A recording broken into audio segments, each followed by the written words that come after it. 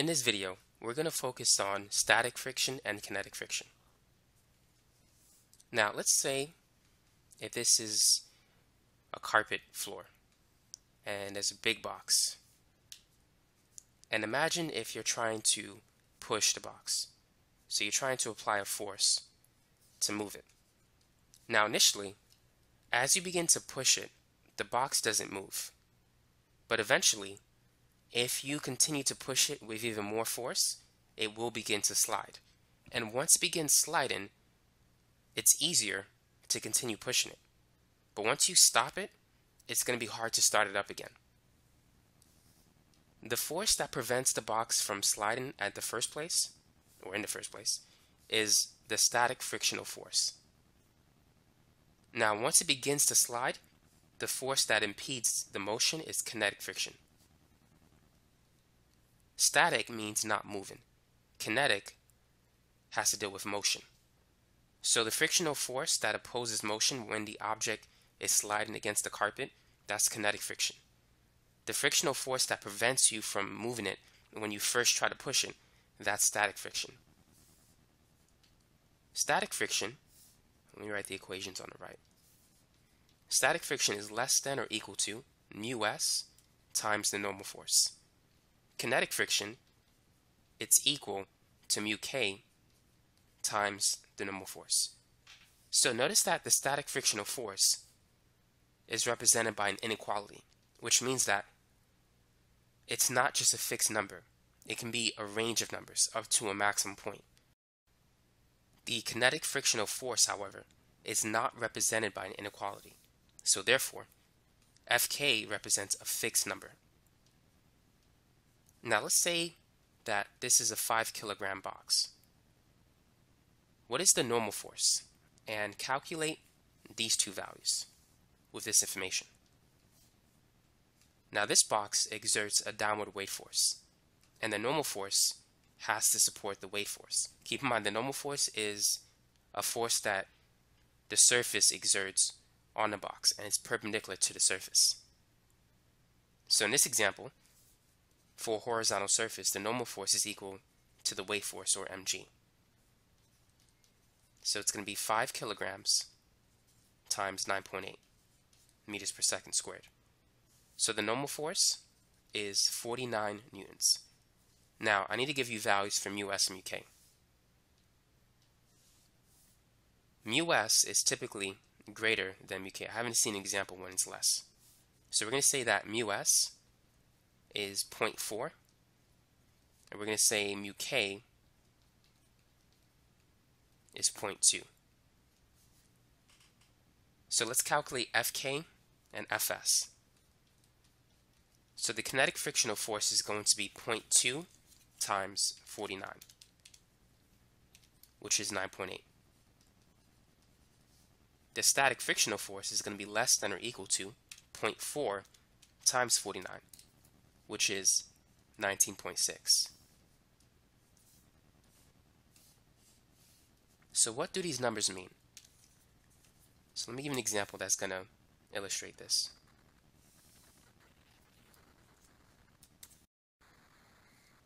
Let's make a table between the applied force, the static frictional force, the kinetic frictional force, and the net force. So if the applied force is zero, the frictional forces will be zero and the net force will be zero. If the person doesn't push the box, the box won't move. Nothing's going to happen. But now let's say if the person applies a force of, let's say 10 newtons, what's going to happen? Will the box begin to slide? And what are the values of the static and kinetic frictional forces? Now, even though kinetic friction is 9.8, that value only applies if the box slides. Now, what is the static frictional force? Will the box move? Notice that the applied force is less than the maximum static frictional force, so it's not going to move. Which means that there is no kinetic frictional force.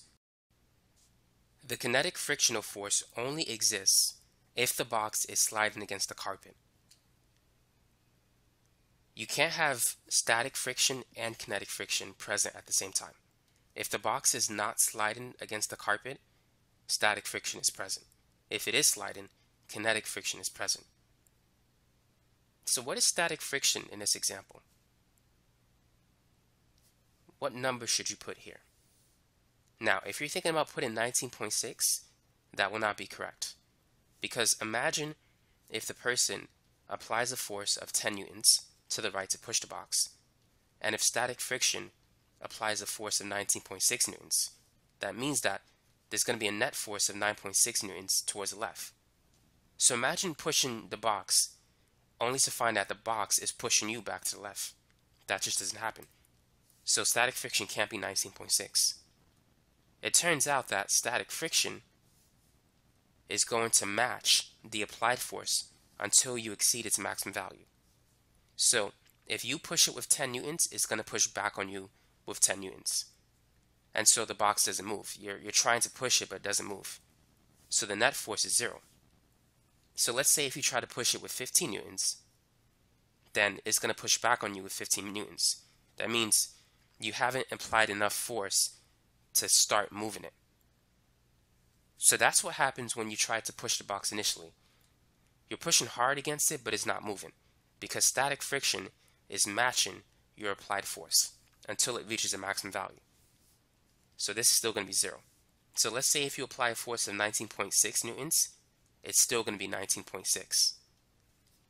Now, when you exceed 19.6, that's when it begins to slide. And so you no longer have static friction, but you have kinetic friction. So let's say if we go just above 19.6, let's say if we increase it to 20 newtons. Now the box begins to slide. And so there is no more static friction because the surfaces are sliding past each other. But there is kinetic friction, which is always going to be 9.8 once the box begins to slide. So it's 20 minus 9.8, which will give you a net force of 10.2.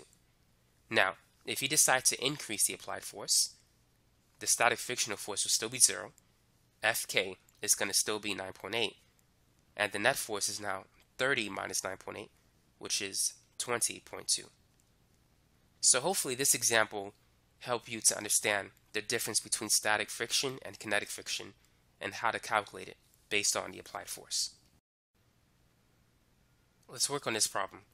A 15 kilogram box rests on a horizontal surface. What is the minimum horizontal force that is required to cause the box to begin to slide if the coefficient of static friction is 0.35? So you can pause the video if you want to work on this problem as well. But let's start with a picture. So this is the 15 kilogram box. So we wish to apply a horizontal force, which we're going to call capital F, and we know that friction is going to oppose it. Now, if we want the minimum horizontal force that is required to cause the box to begin to slide, we need to use static friction. Because until the force exceeds static friction, only then can it slide. If it doesn't exceed the static frictional force, then it won't slide. So the threshold is the maximum static frictional force. So we need to set F equal to Fs. And that's when it begins to slide, when these two have the same magnitude. Now the static frictional force, its maximum value is mu s times the normal force. And in this example, the normal force is going to be mg.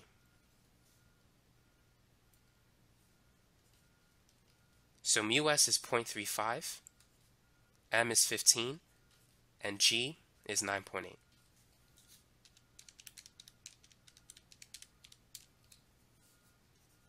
So the applied force has to be 51.45 newtons in order for the box to begin to slide. If it's less than this value, the box will not slide. It will not move. Even if it equals this value, the net force will still be zero. It has to be just above. So if it's 51.46, it will move. If it's 51.44, it's not going to move. 51.45, that's the threshold. So it really doesn't move at that point.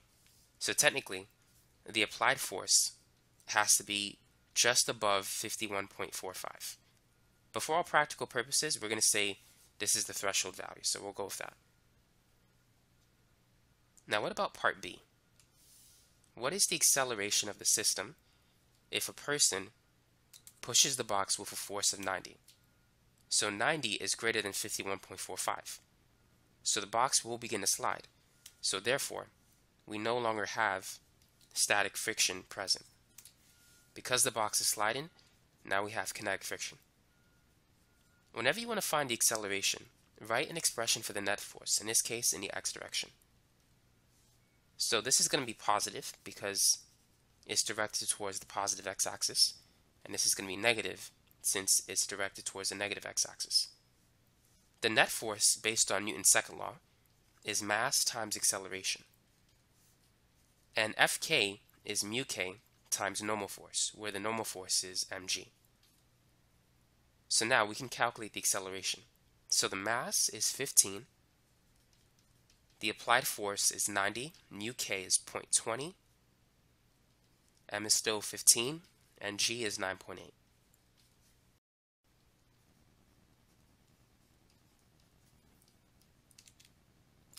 Let's multiply 0.2 times 15 times 9.8. So that's 29.4.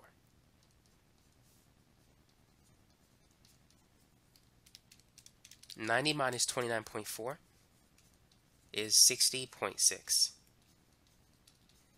60.6, which is F minus Fk, that's the net force, by the way, if you needed to find it. So the acceleration is going to be the net force divided by the mass. 60.6 divided by 15. So that will give us an acceleration of 4.04 meters per second squared. And so that's it for this problem. Now let's look at the second example. A force of 65 newtons is needed to start an 8 kilogram box moving across a horizontal surface. Calculate the coefficient of static friction. So let's draw a picture. So here's the box. It's 8 kilograms in mass.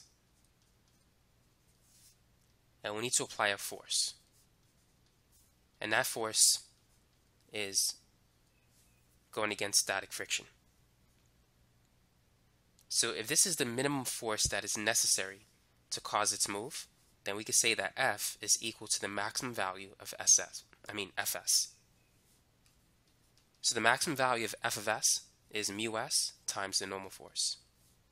So just like before, it's going to be mu s times mg. The applied force is 65. In this example, we're looking for mu s.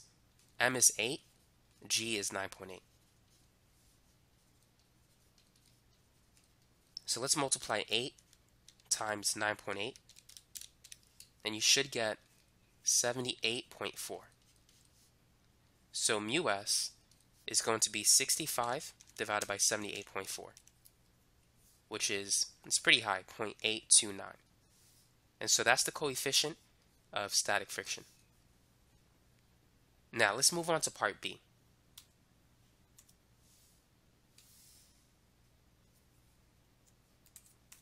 If the box continues to move with an acceleration of 1.4 meters per second squared, what is the coefficient of kinetic friction? So let's replace this with Fk.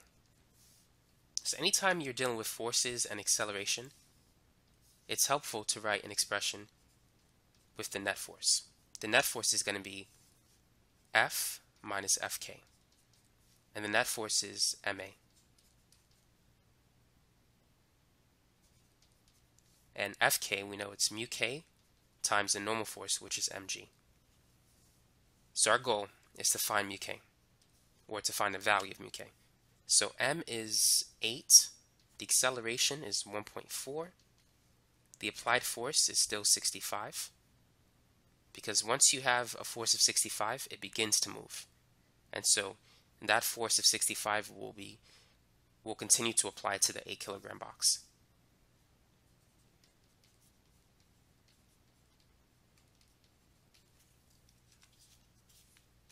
8 times 1.4, that's 11.2. And we said 8 times 9.8, that's 78.4 times mu k.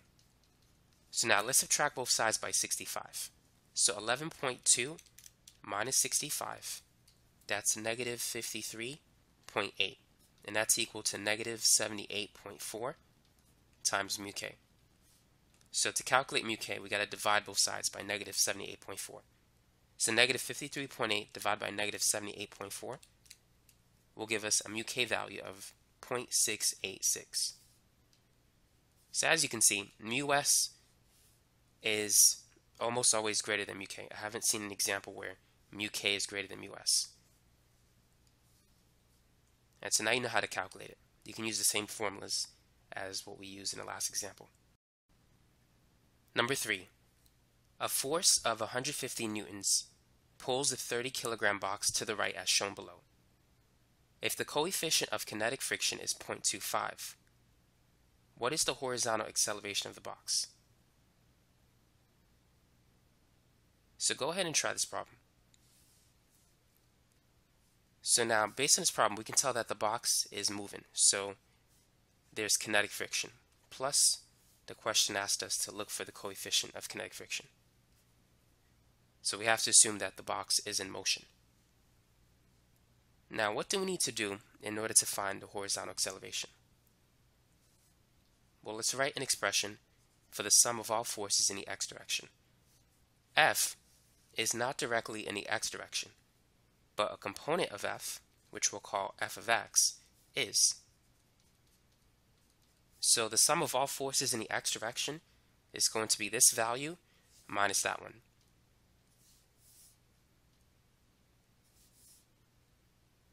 Hmm. This value is going in the positive x direction, so it's going to be positive f of x. And this one is in a negative x direction, so negative fk. Now we know this force, based on Newton's second law, is equal to mass times acceleration. F of x is f cosine theta. Now what about fk? fk is mu k times normal force. Now what is the normal force in this problem? In this example, the normal force does not equal mg. Make sure you understand why. Now, to understand this, let's go over a few things. So let's say if we have a 5 kilogram box. The weight force of this box is going to be 5 times 9.8, which is 49. Now, in order for the box to rest on a horizontal surface, the net force in the y direction has to be 0, which means the normal force has to be equal to the weight force. So whenever you have a, a box on a horizontal surface, the normal force is equal to mg. Now, what happens if you take the same box and if you apply a downward force of 10 newtons? What's going to happen? Now, we still have a weight force of 49 newtons. But what's the normal force now? Before, the surface only needed to, excuse me, to support the weight of the object, which is 49 newtons. But now, the surface not only has to support the downward weight force of the object, but it must also support the downward force that you apply as you press down on the object. So the normal force increases anytime you press the block against the surface. So now the normal force is 59 newtons. Now what about if we take a rope and we pull, if we try to lift up the box with a force that's less than the weight force. So let's say the weight force is still 49, but the upward tension force is 20 newtons. What's the normal force now? In this case, the normal force is going to be less than 49 because it doesn't have to fully support the weight of the object on its own. The tension force supports 20 newtons out of the 49 uh, newtons of weight that the object has. So the normal force has to support the other 29. So basically, the sum of the upward forces must equate to the sum of the downward forces. So here's what you want to take from this. Anytime you press down on an object, you increase the normal force. When you try to lift it up, the normal force decreases. And in this example, this block is being lifted up by the y component of the force. And so it is this y component that changes the normal force, it decreases it. So that's why the normal force doesn't equal mg as it usually does in other examples. But anytime you have a, a force that partially lifts up the block, it decreases the normal force. So we have to come up with an expression to calculate Fn. We have to take this into account.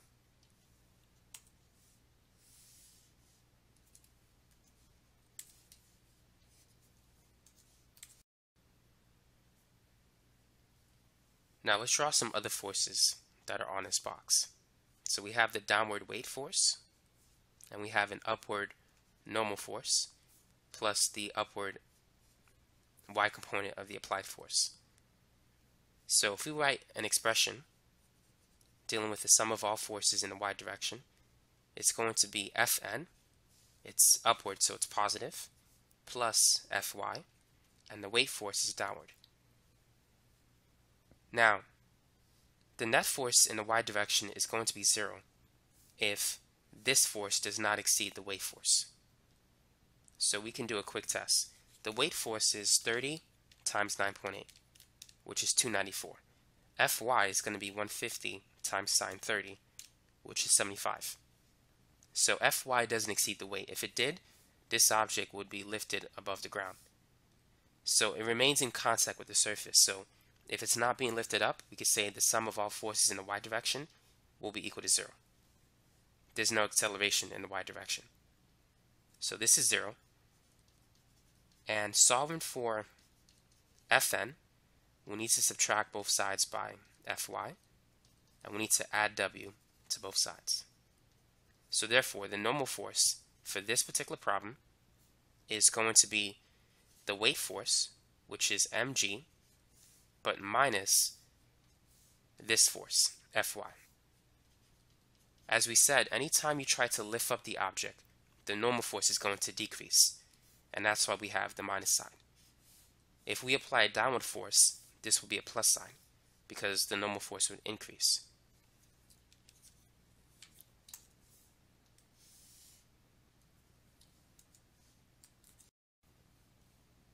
So let's calculate the normal force first. So that's going to be the mass of 30 times 9.8 minus Fy, which is f, that's 150 times sine 30. So we know 30 times 9.8, we said that's 294. And 150 times sine 30, that's 75. So 294 minus 75, that's 219. So the normal force in this example is 219 newtons. Now let's use that to calculate the horizontal acceleration. So m is 30 f is still 150 times cosine 30. That's going to give us fx. And then minus mu k, which is 0.25 times the normal force of 219. Let me just separate these two parts of the problem. So 150 cosine 30, that's 129.9. And 0.25 times 219, that's 54.75. So if we subtract those two numbers, this will give you 75.15. And so that's equal to 30 times the acceleration. So the acceleration in the x direction is 75.15 divided by 30, which is 2.505 meters per second squared. So this is the answer.